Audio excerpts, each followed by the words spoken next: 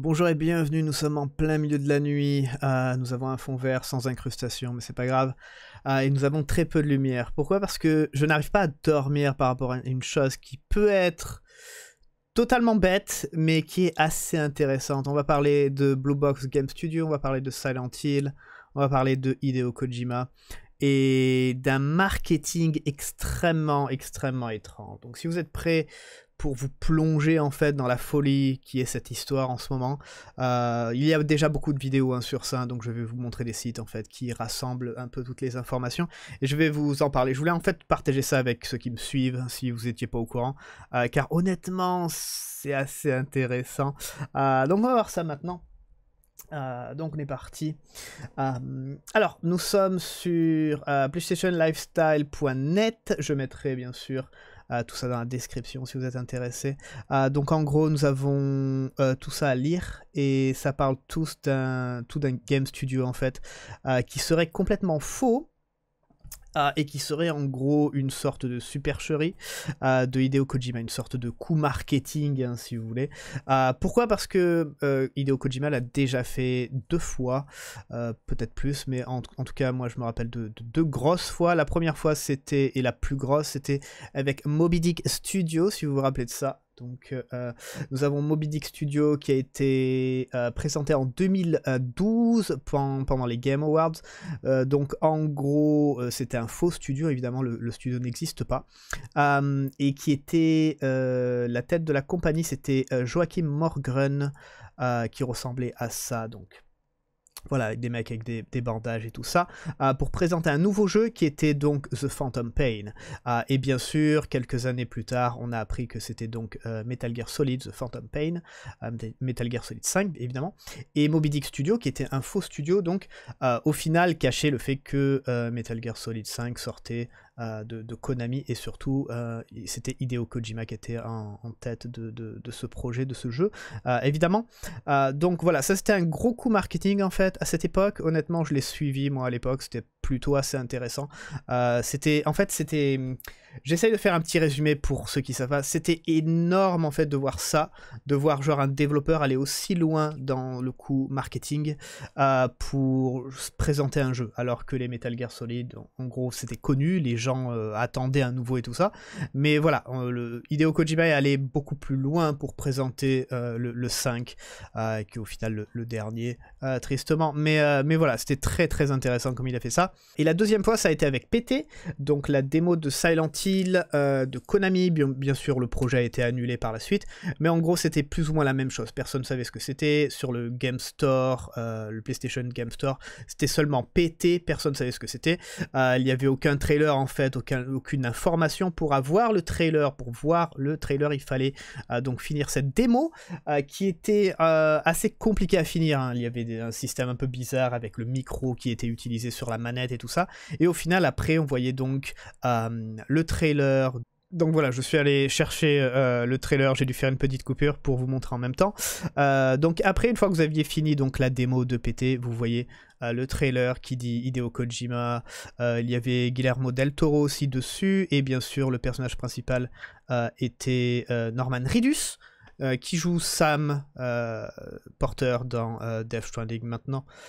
donc voilà, donc c'était assez intéressant ça aussi, c'était assez surprenant d'annoncer Silent Hill. Ça allait, ça allait un peu moins loin que de faire un faux studio, hein, comme on dit, mais, mais voilà, c'était quand même assez, assez osé et assez intéressant.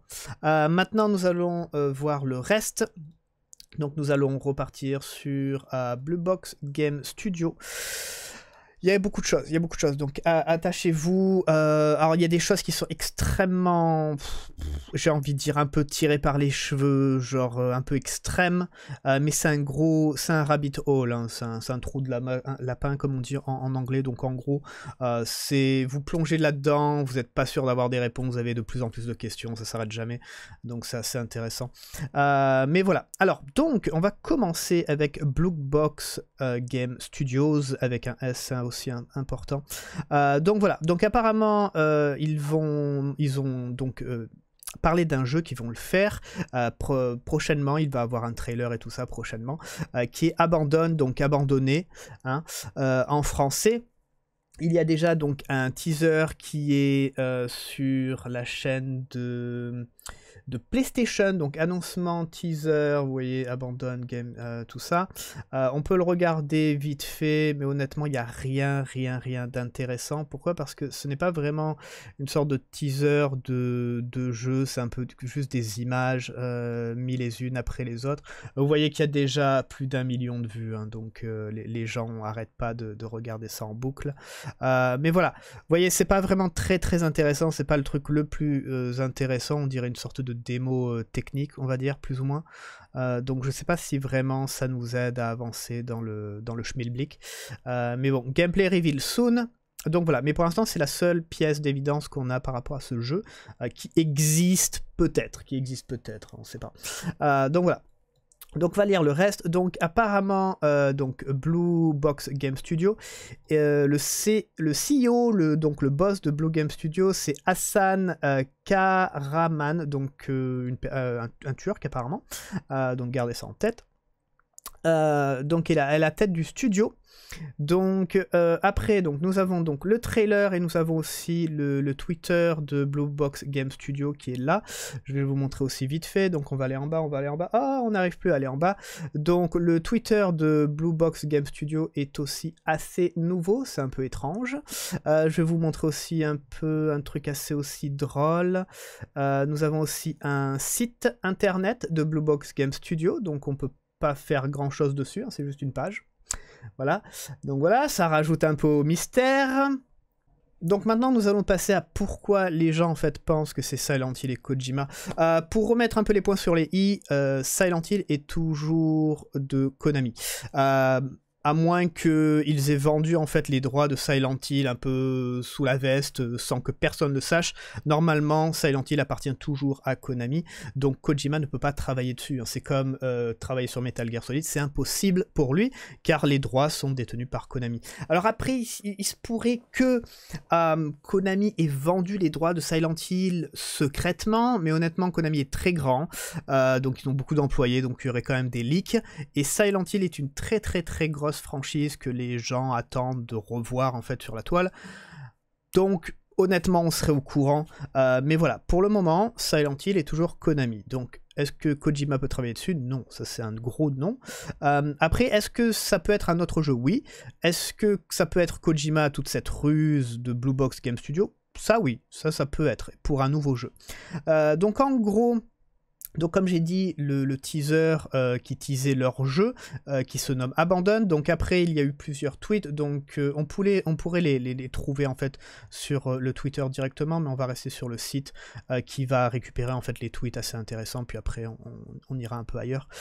donc le jeu qui se nommait Abandon, donc abandonné. En gros, c'est le nom de code du projet. Hein. Il y a déjà, il y a plusieurs jeux comme ça. Ils ont un nom de code avant, et puis après ils trouvent un titre une fois sorti. Et Blue Box Games s'est dit, bah tiens, c'est marrant, on va faire... Euh, ils sont débiles quand même, honnêtement. On va dire les, la, première lettre et la dernière lettre euh, du titre de notre jeu. Donc, la première lettre, c'est un S, et la dernière lettre, c'est un L. Silent Hill, c'est exactement ça, c'est marrant, hein, tiens. Donc, il y a ça. Euh, aussi, ça sera une exclusivité PS5, mais on va en parler un peu plus, plus tard. Alors, euh, quand ils ont commencé à tweeter ça, les gens ont commencé à, faire des, euh, des 1 plus 1 égale 2. Hein. Euh, donc du coup, ils, ont, dit aux gens, ils ont prévenu les, gens, ils ont dit qu'on n'a pas de relation avec Konami. Silent Hill est toujours de Konami, hein, donc apparemment, bon, ça serait vrai, hein, ce que je viens de dire. et on n'a pas de relation avec Hideo Kojima non plus. donc c'était pas l'intention de teaser le nom Silent Hill on s'excuse pour ça. Euh, donc voilà, donc les mecs s'excusent euh, d'avoir euh, donné en gros le, pire, le pire des, trucs possibles, le pire des tweets possibles, pour éviter que les gens pensent à Silent Hill. C'est vraiment une, horreur ce qu'ils viennent de faire. mais voilà, après ils ont parlé de ça. Alors, honnêtement, si ce Blue Box Game Studio n'existe pas, ils peuvent dire ça parce qu'en fait, ils n'existent pas. Donc, c'est pas vraiment un mensonge qu'ils disent. Ils n'ont pas de relation avec Silent Hill, ils n'ont pas de relation avec Kojima, tout ça. Oui, mais ils n'existent pas. Donc, à la limite, ça peut être euh, genre juste une sorte de, ruse, encore une fois, euh, pour mener les gens en bateau. Mais bon, voilà, en tout cas, ils l'ont dit eux-mêmes. Mais après, mais ça s'arrête pas là, évidemment, ça s'arrête pas là. Alors après, il y a d'autres petites choses euh, par, rapport à ça. C'est que euh, Blue Box Game Studios, en fait, euh, a exactement la, même fonte, en fait, que PlayStation Studios. il y a aussi des petites choses un peu bizarres. Pourquoi le Blue Box Game Studios s'appelle Studios, avec un S? Donc ça voudrait dire qu'en gros, il regrouperait plusieurs studios. Ce qui est en théorie pas bon, enfin c'est pas logique de mettre un S à Studios, il devrait s'appeler Blue Box Game Studio, tout, point barre, euh, pas de S si c'est une seule boîte en fait qui travaille. Donc ça aussi, euh, c'est un peu étrange et, encore une fois, le fait que ça soit exactement la même fonte que euh, PlayStation, on a un peu l'impression que c'est pas fait un peu à la va-vite, mais j'ai envie de dire, voilà, c'est pas vraiment original pour un studio qui, pour un vrai studio. Vous voyez ce que je veux dire? Il y a aussi un truc assez intéressant, c'est sur leur Twitter. Euh, je sais pas si on le voit là. Euh, en gros, si vous voulez tweeter, vous allez écrire euh, bébé game studio. Alors oui, je sais que c'est Blue Box, mais bon, les gens aussi voient bébé, donc ils se disent que peut-être c'est un, acronyme pour les bébés aussi de, Death Stranding, de Hideo Kojima. Donc voilà, il y, a plein de petits trucs hein, comme ça qui, sortent. Après, qu'est-ce qu'on a d'autre? Après, il y a le, donc, le, le nom de Hassan Karaman. Euh, donc apparemment, si vous traduisez idéo du japonais en turc, c'est Karaman. Voilà. Alors sur le coup, j'y ai pas vraiment cru, mais j'y suis allé. Donc on va, on va taper idéo. Voilà. Ah, voilà, hein, on sait pas, hein, on sait pas. Très étrange hein, ces choses-là. très très étrange. Alors après, si on veut aller encore plus loin hein, dans, se tirer les cheveux, euh, on va parler de... Alors, euh, il n'y a pas longtemps, euh, pendant le 3, Enfin, c'était le Summerfest Game.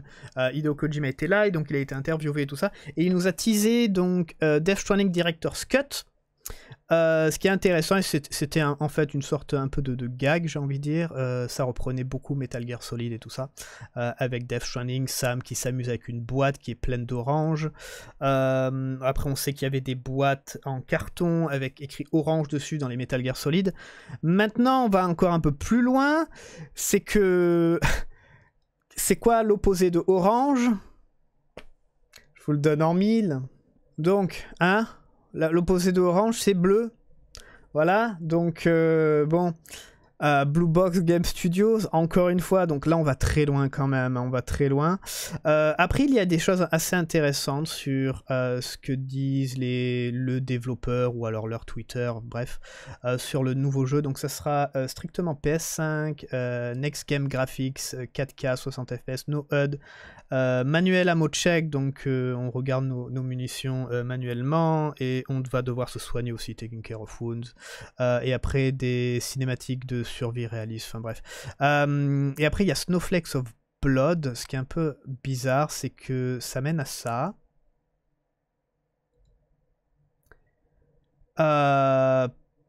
c'est. Je sais pas vraiment. Je sais pas vraiment ce qu'on regarde honnêtement. Euh, mais voilà, c'est sur le site de PlayStation Europe si vous voulez aller le voir. Euh, encore une fois, c'est un peu étrange, mais, euh, mais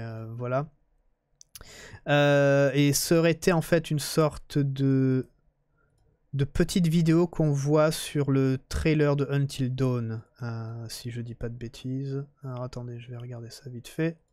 Donc oui, c'est là. On peut voir 1.12 en fait, qui a une image, euh, c'est exactement la même que ce qu'on voit là. Euh, vous voyez, c'est le même, c'est le même, la même chose. Donc, euh, encore une fois, c'est très bizarre. il y a ça. Donc, c'est tout étrange, en fait. Tout est étrange. après, qu'est-ce qu'on a d'autre? Euh, oui, alors Hassan, donc ça c'est le, directeur donc de Blue Game Studios, euh, Blue Box Game Studios, pardon. Donc c'est Hassan euh, Karaman. Alors il y a pas mal de choses assez intéressantes sur son profil PSN parce qu'il a un profil PSN. Alors déjà il a le checkmark en fait euh, de Sony. Donc, euh, de ce que j'ai regardé, de ce que j'ai vu, euh, les gens qui ont des checkmarks, donc c'est un peu comme Twitter par exemple, si vous êtes officiellement la personne et tout ça, vous pouvez avoir un checkmark. Et pour Sony, en gros, ce sont les personnes importantes, je crois bien. je crois, hein, en tout cas, c'est ce que, ce que j'ai vu. Donc, ça serait potentiellement une personne importante. et apparemment, il y a aussi un truc un peu étrange, c'est qu'il joue à des jeux qu'on ne peut pas avoir. Par exemple, il y a celui-là qui est qui s'appelle Demon Blood et il y aurait une image de Siren Head. Donc si vous connaissez pas, donc Siren Head, c'est un, un creepypasta euh, ça ressemble à ça en gros. C'est une euh, un monstre avec des sirènes à la place des, têtes. Donc c'est creepypasta, hein. c'est pas euh, c'est rien de spécial. mais voilà, c'est un peu étrange d'avoir ce jeu-là et il y aurait joué et on n'a pas accès à ce jeu en fait. il y a un autre aussi jeu, je crois, plus tard ils en parlent, auquel le développeur donc aurait joué et on ne peut pas avoir accès à ce jeu. Donc encore une fois, c'est un peu un peu étrange. Euh, donc on a des choses assez, bizarres. Et après, il y a aussi donc le trailer donc de, Abandon, on va le remettre euh, vite fait. Il y a un passage aussi qui, euh, avec, je crois que c'est vers la fin, ou c'est vers le début, j'en sais strictement rien. Non, c'est juste là. Euh, il y a une écriture en fait sur le mur euh, et ça dit euh, Kill the Trespasser. Donc c'est là, hein, c'est pardon, c'est là. Et, vous pouvez voir en fait un arbre. là, c'est tiré un peu par les cheveux. L'arbre passe par deux lettres et il passe par un P et un T. Pourquoi pas? Pourquoi pas, j'ai envie de dire. Hein. Donc péter hein, la démo machin de, Kojima, euh, euh, Silent Hill et tout ça. Euh, donc après, après, nous avons aussi... Euh, alors, en 2016, il y a Kojima Production qui ont fait une sorte de studio satellite. Donc, en gros, c'est des petits studios euh, qui peuvent être localisés autre part que le, que le Japon. Donc, vous avez le studio mère et après d'autres petits studios un peu comme... Euh, qu'est-ce qu'on pourrait dire Genre Square Enix, Square Enix Montréal, des trucs comme ça. ou alors même BioWare, je crois qu'ils ont plusieurs petits studios. et il y en aurait un donc aux, Pays-Bas, à Amsterdam. ça, ça a été retrouvé. Donc, c'était en 2016. Donc, vous pouvez voir Hideo Kojima, avec Kojima Production Amsterdam. Hum, et bien sûr, Blue Box Game Studio, il est où? Dans les Pays-Bas, pourquoi pas. Donc voilà, du coup, c'est un peu encore étrange. Euh, qu'est-ce qu'on a d'autre? Hum, Après, vous savez que, enfin, si vous suivez un peu Hideo Kojima, euh, Joff, qui est le présentateur, on va dire, je pense que les gens le connaissent le, plus pour ça, euh, il présente les Game Awards quasiment chaque année, euh, et c'est ce qu'il a fait aussi cette année, il a présenté pas mal de trucs. bah, il a présenté le, le Summerfest et il a parlé à Hideo Kojima, donc les deux sont très très très potes, hein, et surtout c'est qu'il a même eu un caméo dans Death Stranding, donc les deux sont très potes. Et donc ce développeur aussi, il n'y a pas vraiment d'infos hein, sur Hassan, on ne sait pas trop sur quoi il a travaillé, tout ça. Il y a vraiment très très très peu de choses euh, sur lui. Euh, et apparemment, il connaîtrait euh, Joff. Il serait ami. Donc voilà, donc c'est un peu étrange. Donc ok, la vidéo est un peu forte. J'ai dû couper. Je vais mettre un tout petit peu de son. mais en gros, tout le monde lui demande est-ce qu'il connaît vraiment Hassan et tout ça? Euh, et apparemment, ce qu'il dit, c'est que le studio donc, et Hassan seraient venus vers euh, eux pour euh, lui demander de présenter leur jeu, et en gros, il n'en sait pas plus. et lui, Geoff, il est, très sympa, donc il a dit oui, il va, sûrement être là pour la présentation du jeu. Mais, mais voilà, c'est un peu étrange, et le mec, il arrête pas de sourire. Enfin voilà, c'est. J'ai envie de dire, c'est un peu étrange. mais ça sent l'escroquerie quand même. Euh, donc c'est cool, c'est drôle, c'est drôle, j'ai envie de dire, c'est drôle. Euh, donc on sait pas trop s'il ment, s'il nous mène en bateau aussi. Euh, mais voilà, en gros, ils ont, ils ont été en contact et Jove va être de mèche pour présenter leur jeu. Qu'est-ce qu'on a d'autre encore? Ah oui, si on regarde donc le, le, Twitter, récemment, ils ont fait une chose, c'était assez drôle. récemment, ils ont dit Blue ne réfère pas en fait à la couleur bleu. Euh, et après, ils ont demandé euh, est-ce que vous pouviez en fait deviner ce que c'était. Donc il y a plein, pas mal de gens qui ont, qui ont posté par rapport à ça. Et apparemment, ça voudrait dire donc Best Level User Experience. Et, après, ils se sont amusés. Ils ont dit les premiers qui ont trouvé donc ce que ça voulait dire Blue. on va vous envoyer des messages privés assez vite. Et après, ils rajoutent, en plus, ils disent, les gens vont recevoir des DM des, messages personnels, euh, mais euh, ne vous attendez pas que ça soit rapide. Voilà, ne vous attendez pas que ça soit vite. Donc c'est un peu étrange. C'est comme si ce, studio-là se foutait de la gueule des gens, genre limite ouvertement en fait. Euh, donc c'est méga, méga, méga étrange ce qu'ils sont en train de faire. Euh, honnêtement, je, je sais pas quoi en penser. Je sais pas quoi en penser. Euh, je pense que j'ai couvert à peu près tout ce qu'il y a pour le moment. Tout ce qu'il y a pour le moment. si vous voulez vous marrer, honnêtement, je mettrai le lien Twitter chez eux. Il y a beaucoup de gens qui sont qui sont après eux. Donc ils mettent des photos de Kojima avec euh, moustache et tout ça euh, en disant euh, en disant que c'est Kojima. c'est un peu abusé, c'est marrant. Il y a même des gens qui font des faux comptes de Kojima en disant Eh, c'est moi Kojima, j'ai oublié mon, mon mot de passe euh, sur mon compte principal, vous pouvez m'envoyer un DM et tout. Il y a, tellement de trucs. Y, a juste, c'est juste super drôle en fait. C'est juste super drôle de regarder tout ça. Ah, je vous conseille de, de, voir, euh, de voir les choses, d'aller voir les, les, réponses et tout ça des gens. Il euh, y en a qui se font passer aussi pour Joff en demandant non mais c'est moi Joff, vous pouvez m'envoyer un message. c'est juste fun, c'est juste fun à rire. Euh, c'est juste super fun à rire. bah aussi, il y a aussi cette photo qui, qui, ressort, Blue Box Game Studio, avec le PlayStation Studio comme ça, c'est une boîte bleue en fait le logo animé de, de PlayStation Studio. Il y a énormément de choses. Je crois que ça c'est la meilleure des choses. Je, je, je, crois que ça c'est la je crois que ça c'est la meilleure des choses honnêtement euh, que j'ai vu. Je, je, crois que c'est la meilleure des choses que j'ai vu.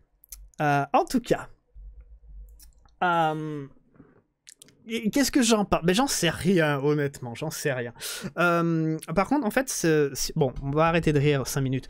Le truc c'est que le problème, le gros problème, c'est que si c'est pas Kojima, si c'est pas une ruse, que ce sont des vrais développeurs, et ça je doute par contre, si ce sont des vrais développeurs, une vraie boîte avec des employés et tout ça, ils vont se prendre un backlash énormissime, ils vont se faire lyncher, leur jeu va couler directement.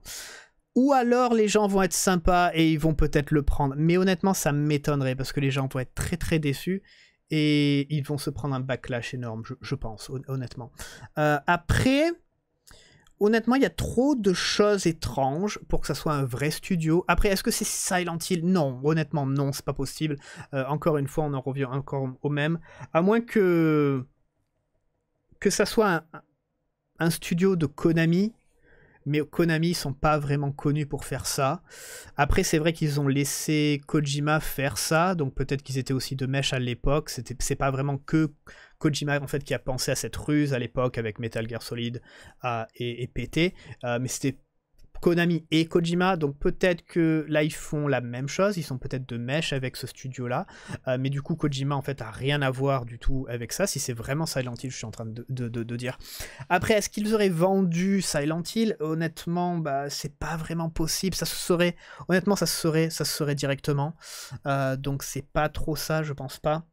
De ce que j'ai envie de dire, ce studio est faux. Ça sera ma dernière note et c'est ce que je pense. Je pense que ce studio est faux.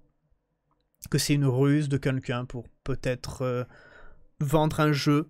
Est-ce que c'est est-ce Hideo Kojima? Je pense pas parce que Kojima il est occupé avec Death Stranding donc je pense pas que ça soit lui. Est-ce que maintenant c'est Silent Hill? S'il n'y a pas Kojima dans l'équation, ça peut être Silent Hill, ça peut être une ruse de Konami directement. Euh, mais si s'il y a Kojima là-dedans, c'est pas Silent Hill. Donc voilà. Mais voilà, ça sera mon dernier mot. Euh, le studio est bizarre. le studio est bizarre, le studio est faux. Je pense que le studio est faux. Euh, mais voilà, j'espère que ça va bien se finir cette histoire parce que honnêtement, elle est fun à lire, elle est fun à regarder et tout ça.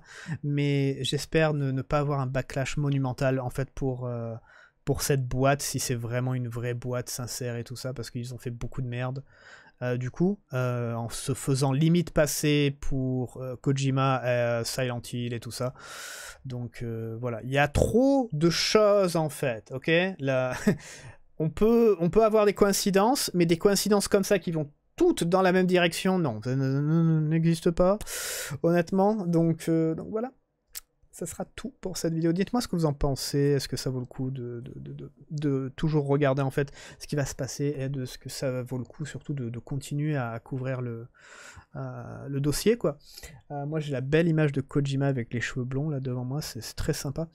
Et euh, voilà, dites-moi ce que vous en pensez et allez voir tous les liens que je mettrai dans la description si ça vous intéresse. Mais, euh, voilà, une des, des, super histoires de 2021 dans le monde du jeu vidéo.